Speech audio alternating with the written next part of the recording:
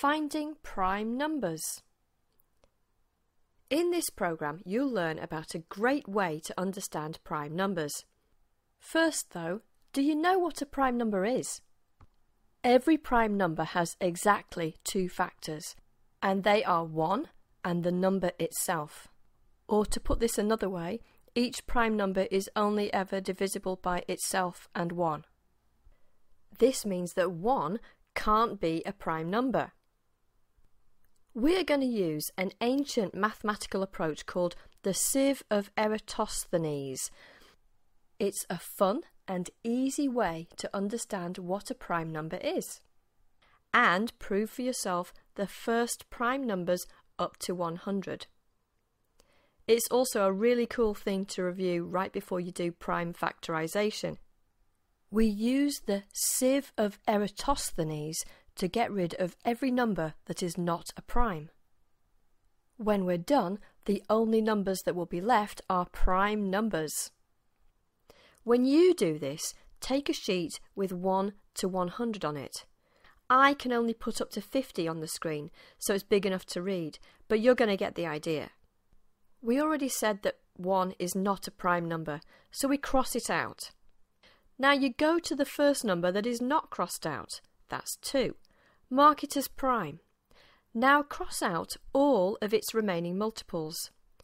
2 is clearly the only even prime number. Now go to the next number that is not crossed out. That's 3. Mark it as prime. Now cross out all the multiples of 3.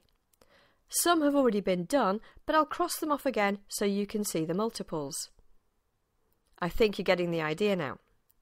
The next number that hasn't been crossed out is 5. Circle it as a prime number. Get rid of its multiples, everything ending in a 5 or 0. You can see that the next prime is 7.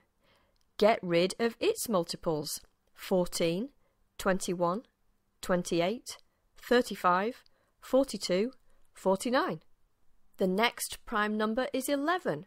Cross out the multiples 22, 33, 44.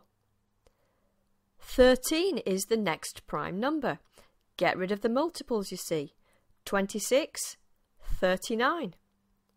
Now we're on to 17. Sieve out the multiple. Two 17s, 34. 19 is next. Cross out 38 because that's its multiple. 23. You know what to do. 46 is gone. And now you can see the remaining primes up to 50. 29's a prime. 31. 37. 41. 43. And 47. Now have a go on paper yourself. And you go all the way up to 100. When you've done it, save it so you can review prime numbers whenever you feel the need. Have fun with the sieve of Eratosthenes. Created using Powtoon.